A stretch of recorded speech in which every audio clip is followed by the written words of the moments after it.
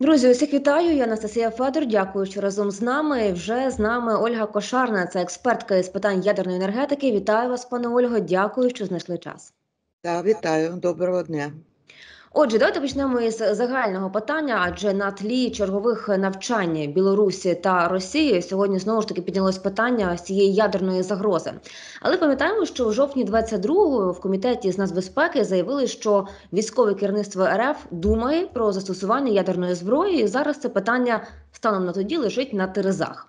Ну а далі все буде залежати від того, як ми наступаємо, які будуть наслідки деокупації території. Можна сказати, що питання застосування ядерної зброї досі на порядку денному в Росії, і найголовніше, що так само пильно Україна слідкує за тим, що відбувається на Росії. Ну, я думаю, що так, е, вони це використовують для ескалації. Е, насправді, на мою думку, вони не мають е, е, наміру застосовувати тактичну ядерну зброю, але ці навчання вони ж розпочинають перед якимись важливими подіями. Наприклад, була в Варшаві, я була присутня на цій конференції Defense 24 де найвище представництво було Польщі і військових, і це присвячено було доктринам різним. І 6 е, травня вона була, е, було заявлено про те, що Росія розпочинає е, ці військові навчання в своєму південному військовому окрузі застосуванням нестратегічної ядерної зброї. Вони це проводили наприкінці травня, 21-го, на мою думку. Потім в Білорусі були спільні навчання там протиповітряної оборони Росії, Білорусі і е, з літаками також. І от зараз це логічно, тому що 15-16 червня цього року в Швейцарії буде саміт миру. Е, в травні вони Е, використовували як важель, щоб е, наші партнери не надавали нам дозволу на застосування зброї виробництва закордонного виробництва на території Росії. Зараз вони, е, на мою думку, от перед цим самітом, тому що це ж це представницький такий саміт і немає Росії. І е, я не відстежую е, дуже уважно, що що там відбувається, які питання, але сам факт, наприклад, що стосується ядерної безпеки, там буде питання. Е, скільки залишилось на порядку денному, я зараз не знаю, але знаю, що ядерна безпека точно. Тобто вони ж е, у них така є Гібридна війна ядерна також не тільки е, погрози застосувати тактичну ядерну зброю, ну і те, що вони окупували ЗАЕС вже два роки, це ж теж безпрецедентний випадок в історії людства. І вони періодично е, там провокації різні влаштовують, наприклад, там е, своїми дронами там. Які доведено, що вони з території окупованої Росією Е, літіли на ЗАЕС. І от е, то раду е, керуючих МАГАТЕ, Раду безпеки ООН вони там созивали і таке інше. Тобто, на мою думку, от це більш вірогідний інструмент шантажу ядерного.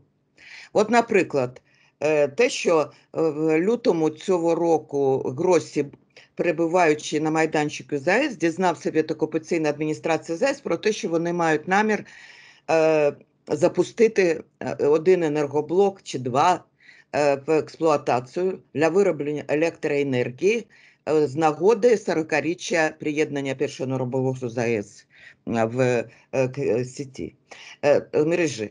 Тобто Е, Це було потім, потім Гроці літав до Путіна, потім він е, знову зустрічався е, вже от недавно в Калінінграді.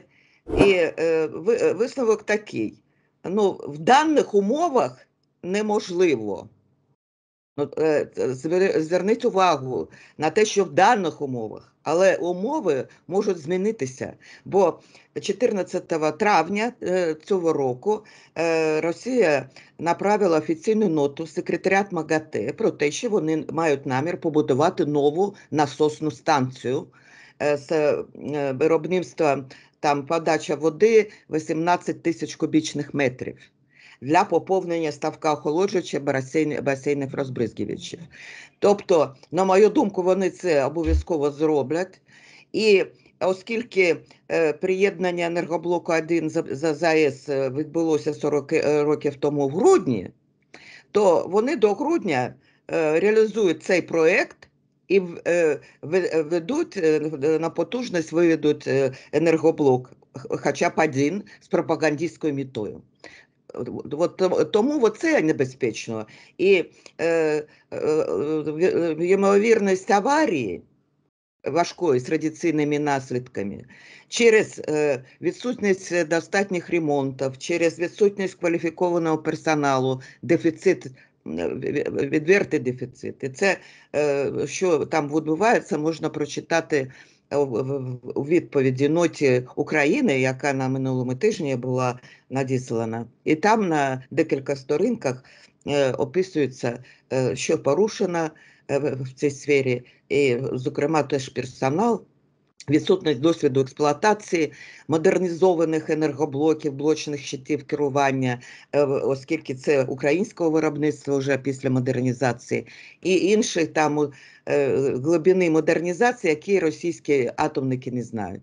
Тому так, це безумовно е, шантаж ядерний, але зверніть увагу на те, що реакції наших західних партнерів на ці заяви вже немає гострої реакції, тому що ну, всі от е, і в кулуарах конференції Defense 24 в Варшаві казали про те, що і е, Сікорський міністр іно, е, е, іно- іноземних справ Польщі прямо казав на цій конференції, що е, наші партнери США не формально повідомили, що ми відповімо, але не ядерною зброєю, а конвенційною. І е, буде такої сили е, з- обстріли, що, що, що знищити все, і не тільки на окупованій території е, України.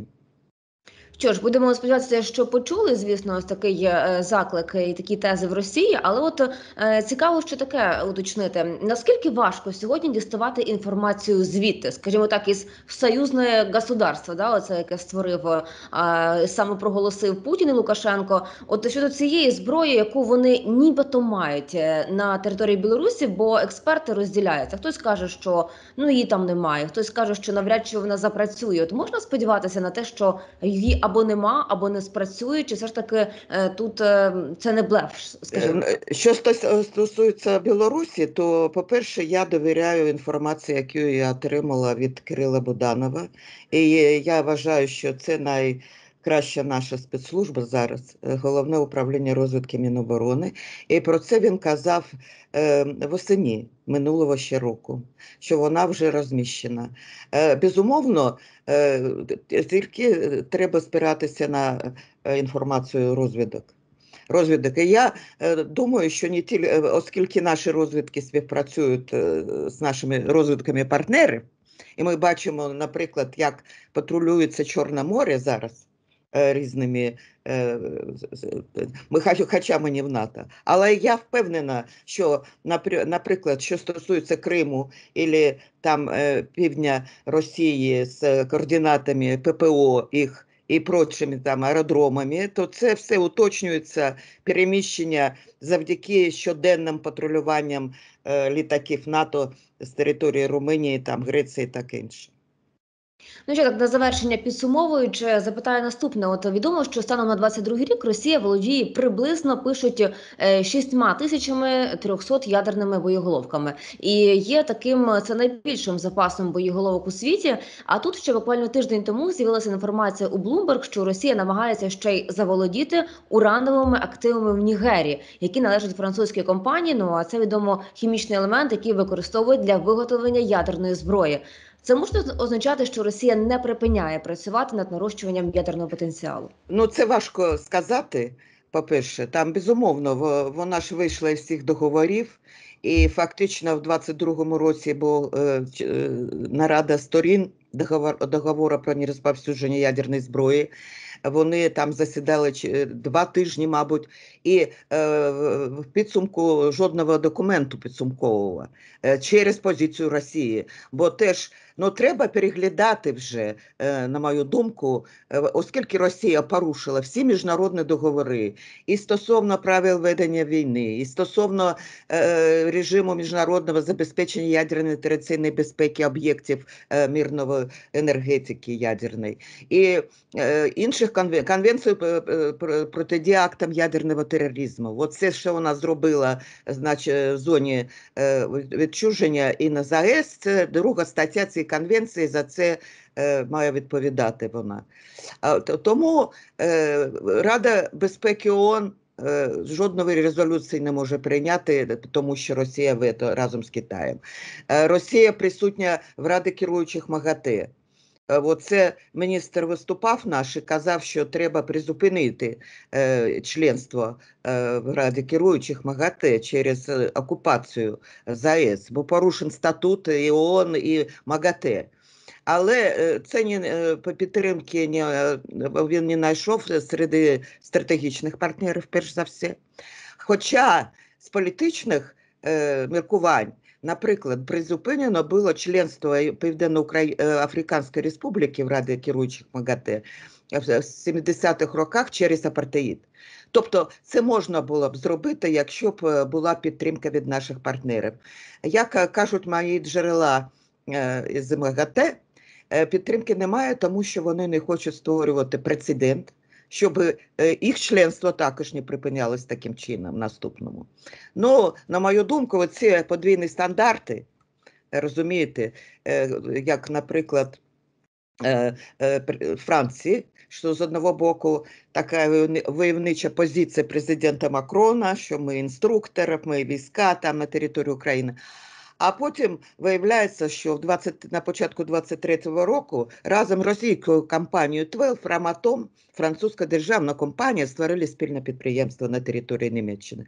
Ну, тобто, е, е, треба е, застосовувати якісь е, а, санкції економічних щодо Росатому, крім Великобританії, США і України, жодна край... держава Європейського Союзу не застосувала. І навіть персональні санкції проти от цих е, Ліхачова і там е, керівництва е, Росатома, на, відміну від е, Великобританії. Чому? Тому що консолідованих санкцій точно не буде від Європейського Союзу щодо Росатому, бо є такий Орбан, є Словаччина з окремою позицією і таке інше. Але на мою думку, кожна європейська держава мала б прийняти рішення на такій двосторонній основі. Наприклад, та ж Бельгія, вони не залежать від е, е, російського урану, від збагаченого урану. США також от, е, прийняли закон ем, в цьому році, що заборона їм експорту. Или імпорту, імпорту збагаченого російського урану. Так. Але з, з виключеннями там теж до 28-го року. Тому що ну і е, дуже пізно е, наші європейські держави, які експлуатують радянського типу реактори ВВР-1019 е, одиниць, вони не зважали на рекомендації Європейської комісії від 2014 року Energy Security, де е, пропонувалося шукати іншого постачальника для реакторів не європейського та американського дизайну. Але вони почали, почали шукати тільки в 2022 році, тому що Росія демпінгує, застосовує корупційні схеми в Європі і також агенти впливу серед політиків європейських. Ну, як це було в Німеччині, наприклад. І тому е, оце, е, рух почався по диверсифікації постачання ядерного палива тіль- тільки в 2022 році. А це процес не такий швидкий, як, наприклад, відмовитись від газу або нафти. Як це зробила Німеччина, та ж, е, ем, от. тому що це високотехнологічний вироб, і е, треба е, його дослідно-промислова експлуатація. Е, це він вартує одна тепловідділяюча збірка більше мільйону доларів. Тобто треба і там поступово заміщувати російське паливо на американське в цих реакторах. Тому немає консолідації європейської спільноти проти ядерних галузі Росії, а також обмеження прав і привілеїв МАГАТЕ, наприклад, де вона, вона не дуже великі внески е, е, грошові, е, на, відміну від Великої Британії США, там оплачує бюджет МАГАТЕ. Але те, що держава-терористка ядерна до цього часу в керівному органі МАГАТЕ, ну це, по-перше, такий поганий приклад для інших держав. Е, Те, що вона оку- окупувала, наприклад, це також дзвоночок для тих держав, які будують за технологіями Росії, і, наприклад, Туреччина, бо ще і вона буде експлуатувати. Тобто вони е, заручниками можуть стати Туреччина, тому що російські фахівці на турецькій атомній електростанції, яка будується за російським проєктом за російські кредити. Тож те ж саме Угорщина. Тобто це дуже небезпечні такі ознаки, на, на мою думку. Що ж, будемо вірити, що будуть ну, по-перше, сили оборони стримувати ворога на полі бою, і ну і власне наші західні партнери точно будуть звертати увагу на все, що відбувається в Росії і за її межами. Дякую вам, пане Ольга, за важливу розмову і за час, який для нас знайшли. До побачення. Ольга Кошарна була з нами, це експертка з питань ядерної енергетики. Друзі, дякую також вам, що дивилися це відео. Обов'язково пишіть ваші коментарі. Впевнена, вам є що сказати. І до зустрічі.